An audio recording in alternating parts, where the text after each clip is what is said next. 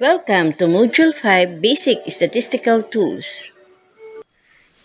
So, under business research, basic stat tools is a must and should be considered in order to understand on how to properly achieve the end result. It serves as the first basic things to consider when computing the stat methods needed for the study. So here, uh, we will consider only the computation of the frequency and percentage and the mean, median, and mode. So let's start with the frequency and per percentage. Actually, frequency and percentage is applied to determine the distribution of response of the questions. Under research study, it is used to describe the profile of the participant by age, gender, educational attainment, employment status, civil status, type of businesses, monthly profitability, kind of customer, etc. It is the most applicable consideration when computing the demographic profile and the business profile of the research.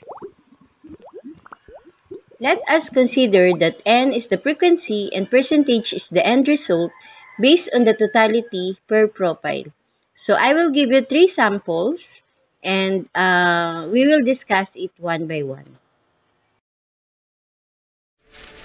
For the table number one, there are five branches of the business, namely A, B, C, D, and E. They earn a profit of 800,000, 1,500,000, 900,000, 200,000, and 1 million. So here, we need to produce a table wherein uh, we put first the name of the branches and then the N, which is the annual profit, and the percentage. So, you need to consider that totality of 800,000, 1,5, 900,000, 2 million and 1 million will, will be your base. So the total is 6 million 200. So that will be your base. So how to compute? Again, because this is the base, this is the denominator. So 800,000 divided by 6 million 200 will be 12.9% for A. And for B, it is 1 million 500 divided by 6 million 200. So it will be 24.19% for B. 900,000 divided by 62, so it will be 14.52. 2 million divided by 62, it will be 32.26. And 1 million divided by 6.2, it will be 16.13%. So to, to, to total it all, it should be 100%. So this is the sample table when you are producing your frequency and percentage. This is how your table looks like when you are producing your figure. Uh, under pie chart, line chart, or by bar chart. So this one is more understandable by the reader, especially the family. So under table number 2 or example number 2, here you also need to consider capital of all branches at 1 million, 1 million 500, 1 million 200, 3 million and 800,000. So you again you prepare your table like this uh, putting your branches A, B, C, D, E, and then the capital, which, will be the end. So 1 million, 1 million 5, 1 million 2, 3 million 800,000. So to total it all, it is 7 million 500. So again, your base is the 7 million 500. So it will be your divisor.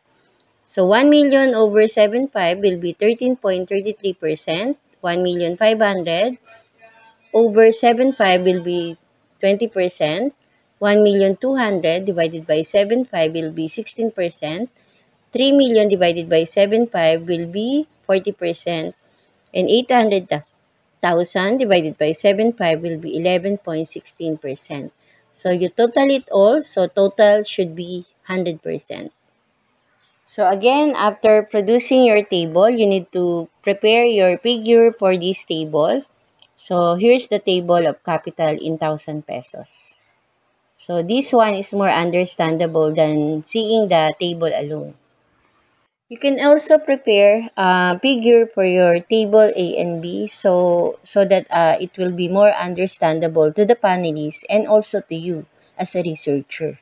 So, you can prepare either a bar chart, a line chart, and you can also prepare a line chart with bar chart. So, to make it more clear and understandable. So your number 3 table is um, customer of Nailaholics, uh, which is Gen Z, Gen X, and Gen Y. So for Gen X, we have 120 customers. For Gen Y, we have 200 customers. And for Gen Z, we have 50 customers. So to total it all, it uh, they are 370. So 370 will be your base. So for the percentage of Gen X, we have 120 over 370. So it will be 32.43%. Then for the Gen Y, we have 200 over 370, which is 54.05.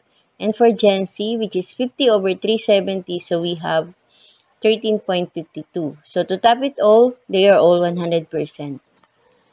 So here's the result of your table 3 when you are preparing your um, pie chart and bar chart.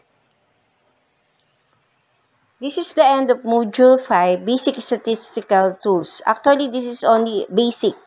So, we will further discuss the different statistical method that you can use on your business research.